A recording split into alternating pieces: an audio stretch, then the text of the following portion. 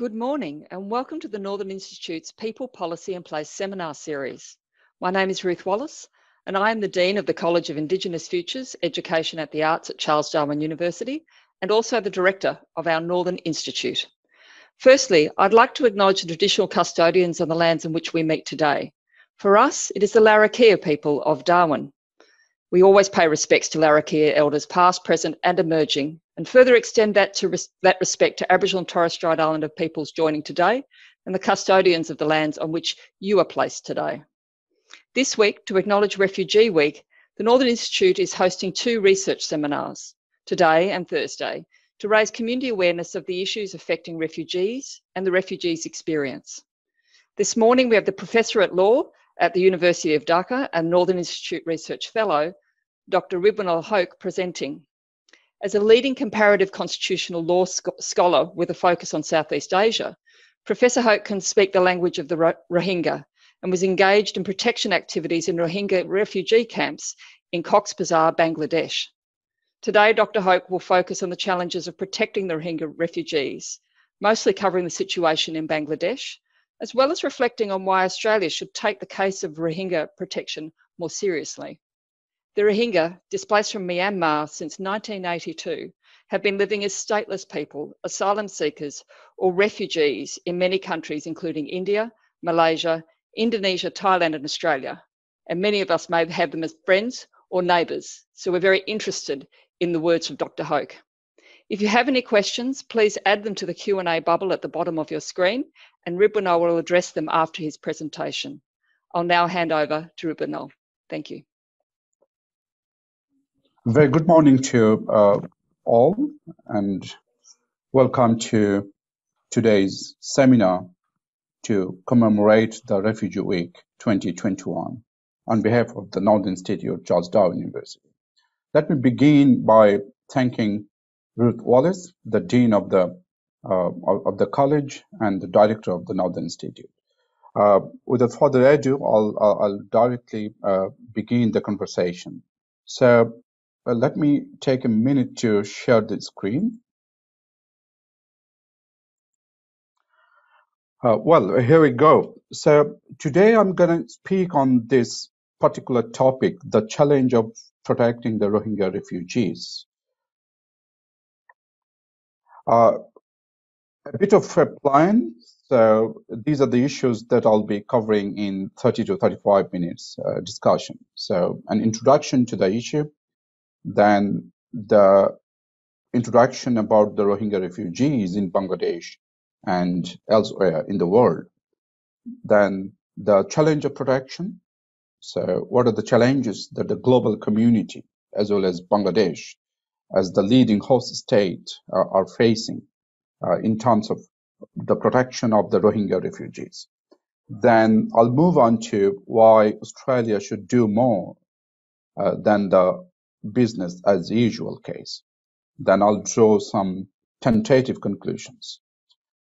So, well, the Rohingya is an ethnic religious minority Muslim community living since at least the 13th century in the Myanmar Rakhine state, which is bordering with Bangladesh. According to a census in the 19, early, early 1970s, there were 3.6 million Rohingya people. Myanmar has long denied them as citizens. Immediately after Myanmar independence in 1948, and more prominently after 1982 Citizenship Act. And, and, and, and this is called the legal denial as well as there are factual denials. Uh, however, scholars suggest that despite the 1982 Citizenship Act, the Rohingya in Myanmar are the citizens of Myanmar. So the denial is actually de facto, de jure, or according to law, they remain and continue to be the citizens of Myanmar. Despite all these arguments, the reality is that the Rohingya, they are stateless refugees in desperate need of protection. And they live in many, many countries in the world. And Rohingya community form one of the five largest refugee groups, according to a recent United Nations statistics or report. Uh, and it comes on the fifth in the list of five Syria, Venezuela, Afghanistan, South Sudan, and Myanmar. And interestingly, only these five countries share the or produce 67% of 26.4 million Rohingya refugees. The creation of the Rohingya humanitarian crisis that has become a dangerous turn in 2017, I'll come to that in a while, uh, is because of the state actions in Myanmar or the state crimes, along with super nationalist Buddhists. So I'm not judgmental on this. There's a fantastic study, a book indeed, uh, which is by Francis Wade in 2017. And the title of the book says it all The Myanmar's Enemy Within Buddhist Violence and the Making of a Muslim Other. So the state and the, and the majority Buddhist people went hand in hand to create an othering nation, the Rohingya people. And uh, about the hosting of the Rohingya refugees or Rohingya people, there are many countries, as I have already said, but it's interesting that Bangladesh stands as number one country as a host to host Rohingya refugees. So over a million in Bangladesh and is more than the Rohingya people left behind in Myanmar, uh, which is 0.85 uh, million. Then comes Saudi Arabia, then comes Pakistan, then Malaysia, then India and United Arab Emirates, 50,000 each. Then Thailand, then Australia, then USA, which are reported to share Rohingya refugees 5,000 each in each country. So in the picture we see, uh, so it's speaking, it's a speaking picture. It tells you the the story, the suffering, the untold, of, I mean, un, very pressing story, uh, pathetic. The making of the Rohingya refugee crisis, the current crisis, 2017. So in the picture we see uh, many people on, on on shallow boat or on on on banana plants. I mean, floating uh, in the river, just nearing a village in Bangladesh. Uh, then uh, a little bit about the history of the current influx into Bangladesh uh, that began in August 2017, following a, an, an, unprecedented uh, brutality by Myanmar's uh, military on the Rohingya refugee, on the Rohingya people. Indeed, violence or the state crimes and the persecution have made them flee in the past. Uh, as for Bangladesh, for example, the year was 1978 when we uh, we saw first small scale influx of Rohingya people. Then the saga was repeated in 1991, 1992, 2013, and 15, and uh, many more times on a scale, small scale in between.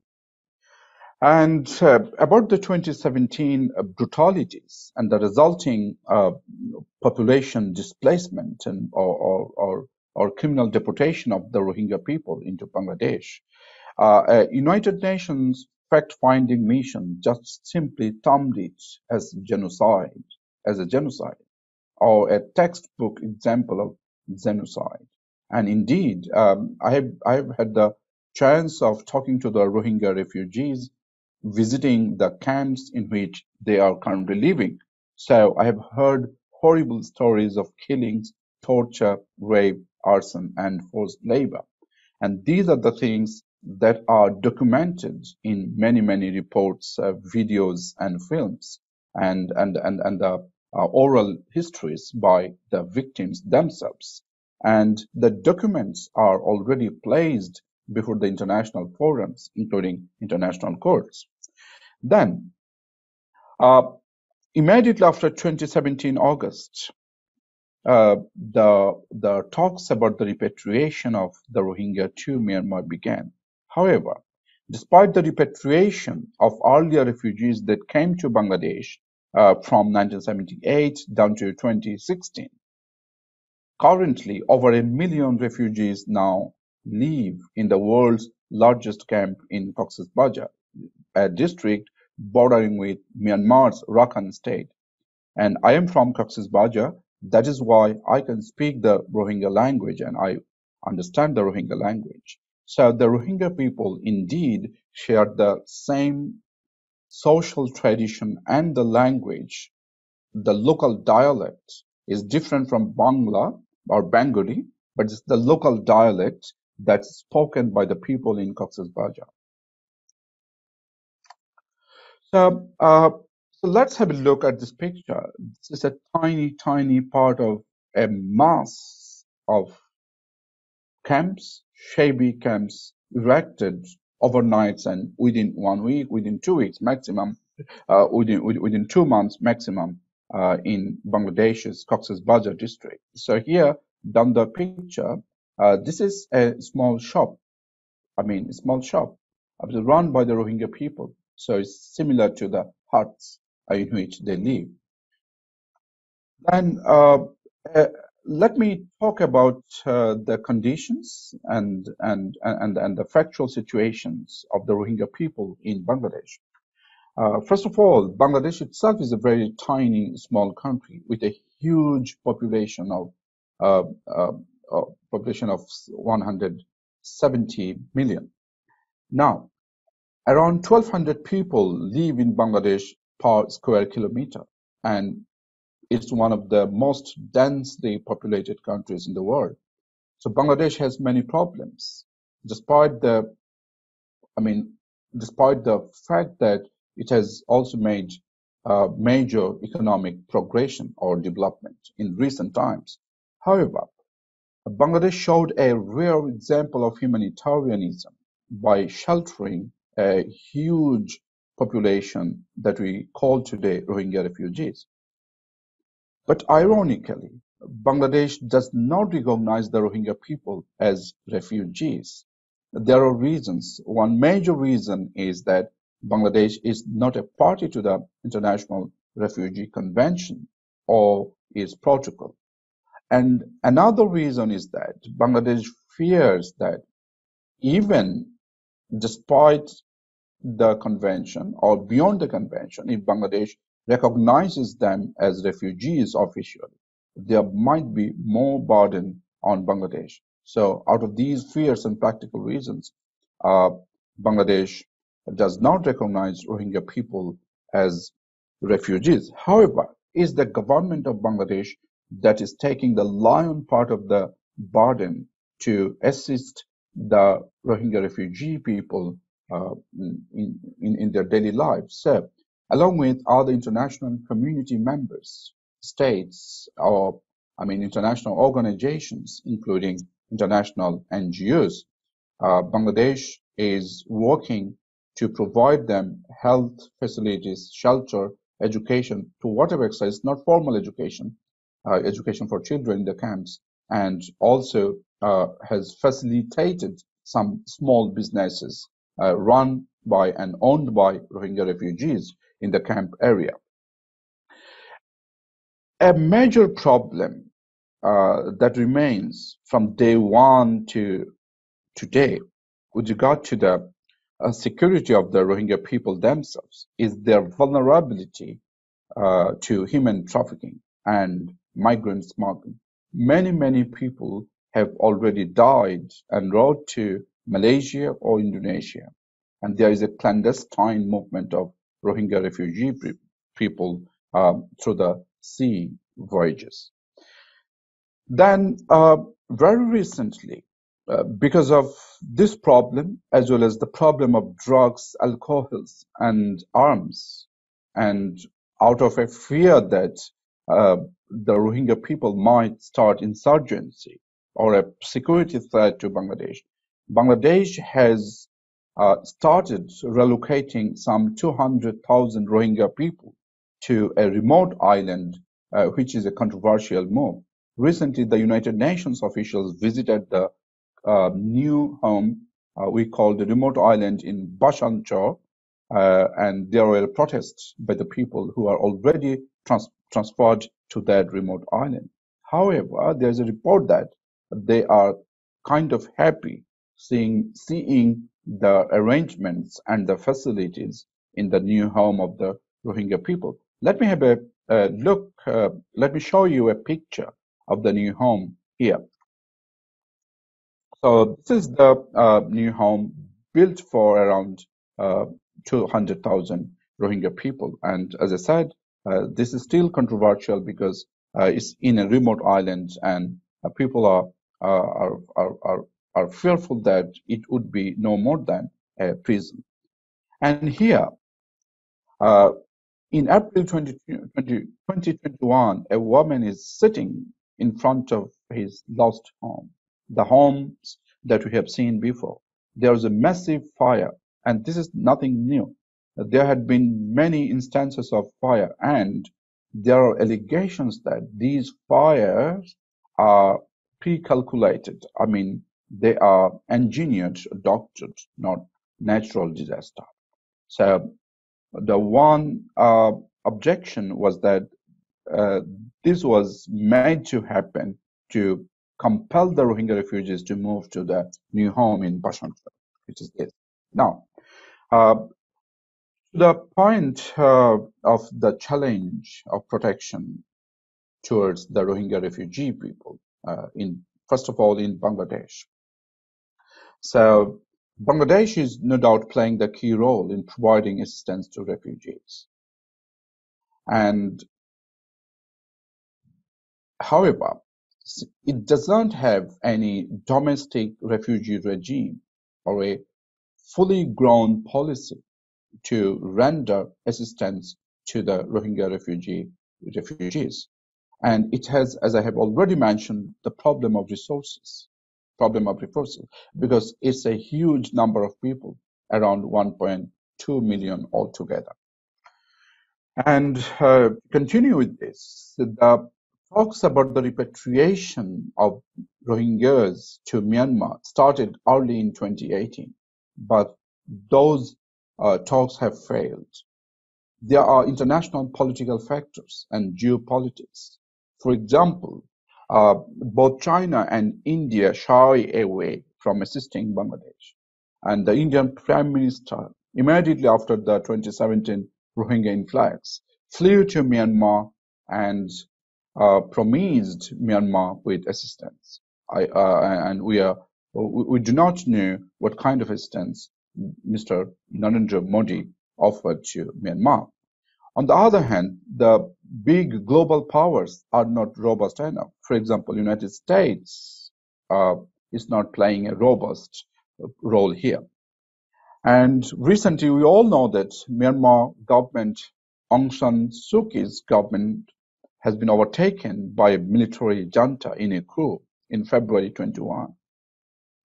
And before this, immediately before this, just two months before this, or one month before this uh, military power taking over, uh, there was a tripartite dialogue which created a ray of hope for the repatriation of Myanmar refugees. And the tripartite dialogue was amongst China, Myanmar, and Bangladesh. So the China uh, came forward to offer its leadership, but that didn't uh, translate into reality. Then with the military takeover, today the repatriation is put in abeyance. Then the shadow government established by the ousted government leaders in Myanmar uh, has promised the Rohingya the citizenship status this is interesting because the leader of this government, Aung San Suu Kyi, clearly uh, denied the Rohingya refugees as citizens, and she vehemently protested international courts' jurisdictions uh, against Myanmar. We have seen that. Now, uh, moving on to the global protection challenges. So there's no doubt that the Rohingya people has have, have recently faced genocide, which is a major crime along with genocide, there is a crime of forcible mass deportation or criminal deportation under the international criminal law or the statute of the International Criminal Court. Uh, yet the Security Council has failed to take any concrete step, and the United Nations General Assembly has also failed equally. However, we know that to cover, to deal with this type of situations of humanitarian crisis, as well as gross violation of human rights or genocide or ethnic cleansing, in which United Nations Security Council fails, uh, there are some resolutions, at least two famous resolutions by United Nations General Assembly, according to which the General Assembly can take action, collective measures. One is the responsibility to protect, which is in 2005. I'll come to that later. The other is the Uniting for Peace Resolution, 1950. That's the first one. Uh, uh, let, let me say a little bit about the uh, 2005 resolution on the right to protect, R2P. This resolution, this doctrine gives primacy to the protection of people who are subjected to gross violation of human rights over the protection of the territorial integrity of the state concerned. So according to this doctrine, we all states have an obligation to protect the Rohingya people vis-a-vis the claim of sovereignty by Myanmar. So even military intervention can be can be possible, can be made possible under this resolution. On the other hand, uh, this is also important. R2P makes it a duty of all nations to come forward to protect a population, particularly when there is a grave crime uh, against humanity, which is the exact which is exactly the case for the Rohingya people. However, we know that uh, uh, despite the failure, there, were, there are certain global measures that are going on. We all know that, for example, um, United Nations resolutions and, uh, and, and, and, different fact-finding missions and uh, United Nations Human Rights Council resolutions. While these actions are going on, reports, visits, fact-finding, very important, significant measures, uh, we also have some actions before the international courts. So, so far, two actions, one before the International Criminal Court, and the other is before International Court of Justice. Most uh, striking or interesting is the is the case before International Criminal Court under the ICC statute. Uh, Myanmar is not a party uh, to the ICC statute. On the other hand, Bangladesh is a party to the ICC statute. And uh, in this background, in this situation, it's not any state, but rather the prosecutor of the ICC, International Criminal Court, initiated a measure in the in the court to to seek permission for the investigation of genocide or other brutalities against Myanmar. And on 6 September, because of that petition by the prosecutor, uh, 6 September 2018, the ICC pre-trial chamber ruled that uh, although Myanmar was not a party to the ICC, the court can proceed against Myanmar because one of the elements of the crime of deportation actually was was uh, was uh, in the territory of Bangladesh, which was a party to the ICC statute. And because of that, as a follow-up, on 14 November 2019, the ICC approved a full investigation into Myanmar's alleged crimes against the Rohingya or crimes against humanity. This full investigation has just begun uh, and continuing. And then, interestingly enough, uh, there, at the same time, uh, there was a petition, a, a, a proceeding before the International court of justice, the global court of the world community. Uh, and this was by Gambia. So it's a, it's a third state. This is interesting. Neither by Bangladesh nor by any neighboring countries of Myanmar. And after a hearing, the court uh, ICJ issued unprecedentedly a unanimous decision on the provisional measure. This is unprecedented because of two things. One is the petitioner, who which, uh, which is Gambia, is a third party petitioner, and the other thing is in all provisional measures or injunction measures before from the International Court of Justice, there were some dissents, but this time this was a unanimous decision. This is interesting. Then, because of this proceeding, Myanmar has got time to submit counter memorial, I mean, responses uh, to the case. This is a live case, still ongoing, uh, but the court issued provisional measure asking Myanmar not to repeat the activities that have been alleged. However, Myanmar got uh, time until 23rd of July 2021, which is next month, and we believe that Myanmar will fail the date. And uh, also interestingly, the Maldives, Canada, and Netherlands have showed their interest to intervene in this case or to become interveners. So this is a clearly good sign of uh, goodwill uh, uh, or, or, readiness to help the Rohingya refugees uh, on the part of the international uh, community. Uh, but the limitations are there from about the international court actions uh, because uh, the jurisdictions are mostly consensus based. So since Myanmar is either not a party or Myanmar is not cooperating with the international courts, uh, so there will be there will be problems in the in the implementation of the of the court rulings if there are any uh, in the future.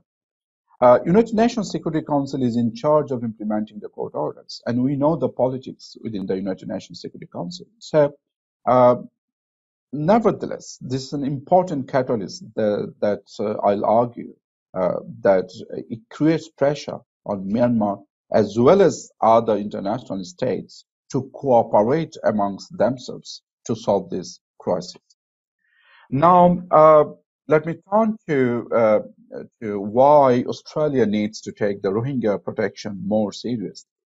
So there are conflicting statistics about the number of Rohingya people living in Australia. According, according to one statement is 5,000 and according to another account is 3,000.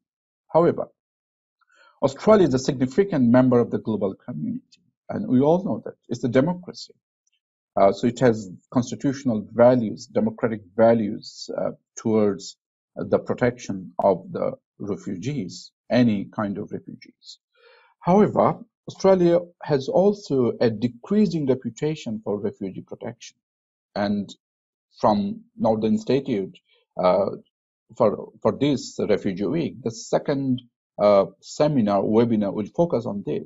Uh, we have people detained in Darwin uh, who are refugees uh, and detained over a longer period of time. And uh,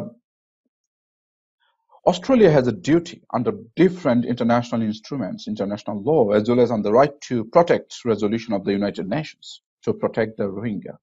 Not just those who are already in Australia, to protect the Rohingya overall. And uh, as I have said, we have around three to 5,000 Rohingya people in Australia and around 50 members are in Darwin. I have talked to many of uh, Rohingya people, uh, several Rohingya people uh, who live in Darwin.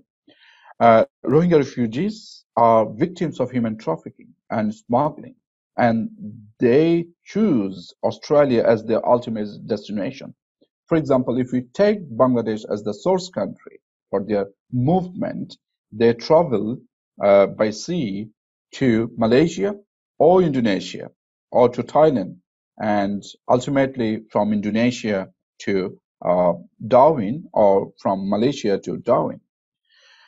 And therefore, Australia needs to do something more to prevent this clandestine movement uh, from the source states rather than simply detaining people, Rohingya refugees found at the borders of Australia. So uh, there are many ways to do that, actually.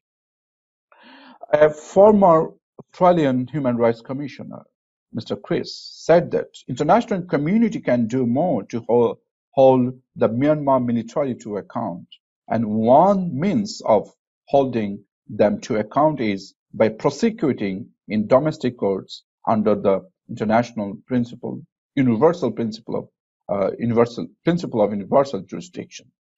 And uh, importantly, Australia is a party to the ICC statute, and it has enacted a domestic law to implement that international criminal law into Australian domestic law. So it can provide, uh, I, I, mean, it can initiate at least an attempt to domestically uh, prosecute the people responsible for Rohingya genocide or brutalities. So, uh, Australia should also protect and free the Rohingya refugees it has detained on offshore detention centers in Nauru or on the Manus Island. We all know that. Uh, let me now conclude uh, my, my, my, my, discussion, and these are tentative conclusions. Uh, Bangladesh has responsibility to protect the Rohingya refugees which are within its territory. But uh, we should acknowledge that it has limitations too. Uh, despite the limitations, Bangladesh has shared a major burden. And now other third countries should come forward to take the burden uh, of uh, providing assistance to the Rohingya refugees, not those not only in Bangladesh but also those who are in other countries, as well as those who are in Myanmar. The wheels of international justice have turned quite slowly. The mechanisms are in process, but they are noticeably slow. With the change of the current, uh, the government uh, uh, in Myanmar to a military ruler, the challenge of protecting the Rohingya refugees has become even more complex. It, it, has turned out to be a daunting task now.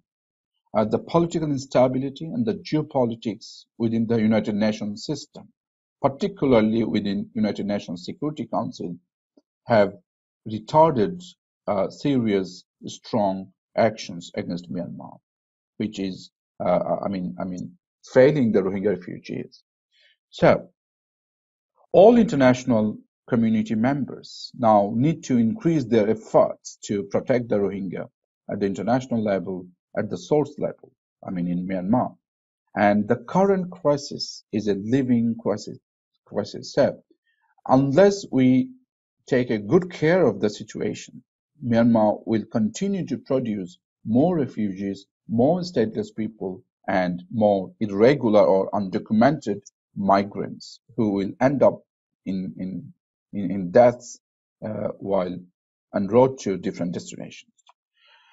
And Myanmar is bordering with five countries. If I'm not wrong, I might be factually wrong here, but uh, bear with me if I'm wrong. Wrong, but uh, China, Bangladesh, India, Thailand, and Laos are the five countries uh, bordering share, sharing borders with Myanmar.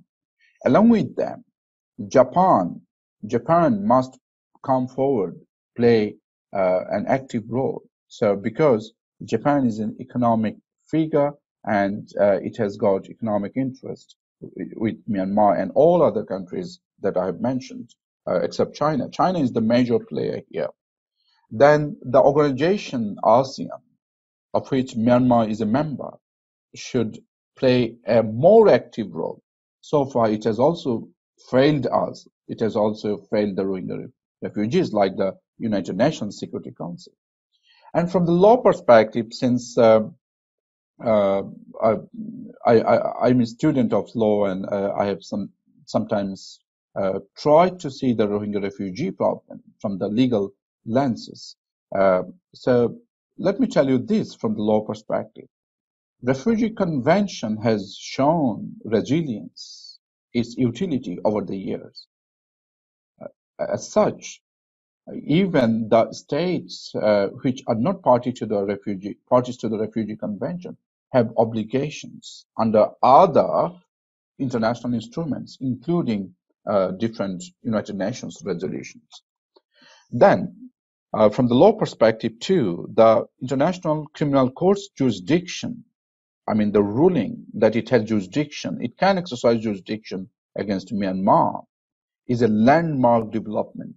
And this is for the first time in the history of uh, international court jurisprudence that uh, a non-member state has been brought to uh, accountability through a litigation. In the same way, International Court of Justice invocation by a third state, Gambia, is also historic. These actions simply need to be translated into a meaningful change of the uh, status quo that we are now experiencing. So thank you so very much. Um, uh, this is an acknowledgement page, and I have relied on Demo Development and Cooperation, a German magazine, in which uh, I've written several uh, small contributions on the Rohingya refugee protection, and the pictures are taken from that. And also, I have relied on ICC amicus brief uh, that has been submitted to the ICC on behalf of Bangladeshi civil society organizations and activists, um, of which I was a part um, uh, in, in, drafting the ICC brief. So I relied on this too. Thank you so very much for your patient hearing, and thank you to Northern Institute for organizing this um, uh, significant seminar in commemoration of the refugee. Thank you. Thank you for presenting today and everyone for joining us. We actually have do have a couple of questions um, for you, if you don't mind.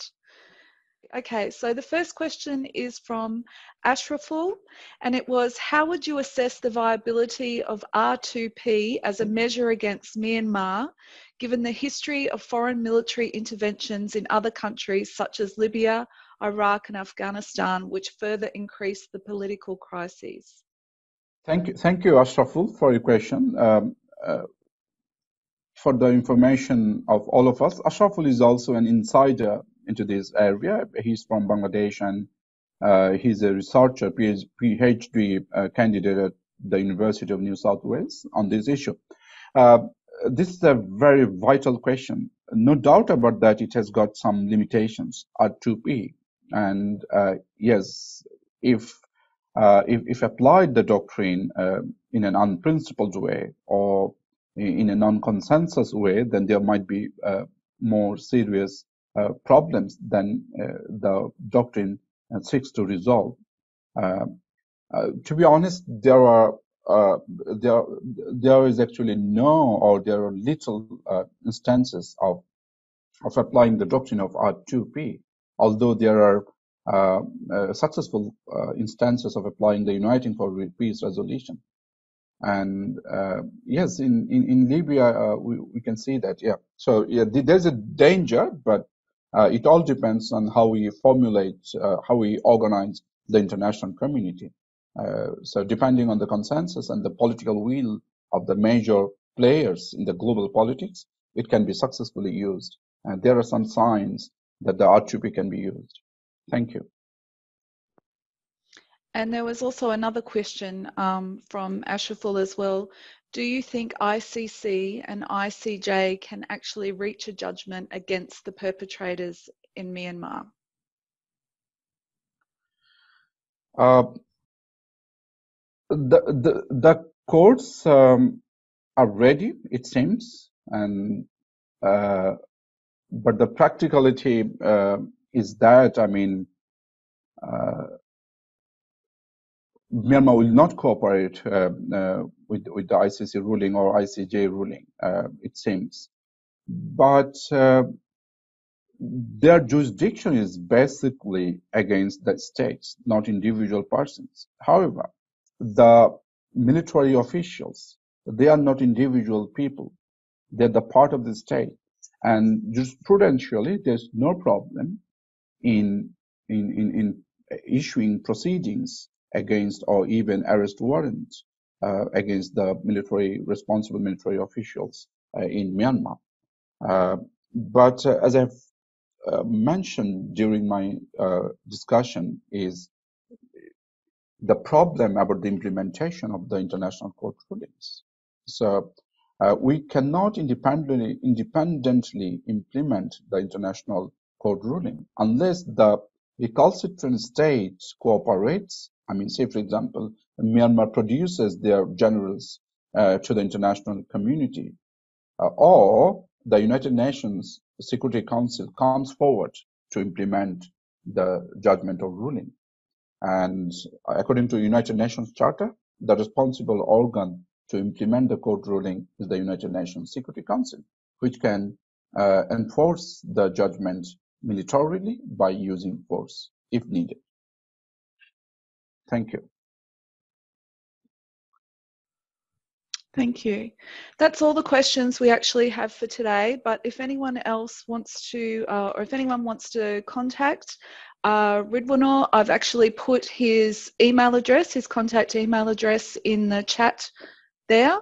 And um, you can view his research profile on the Northern Institute website if you want to read a bit more.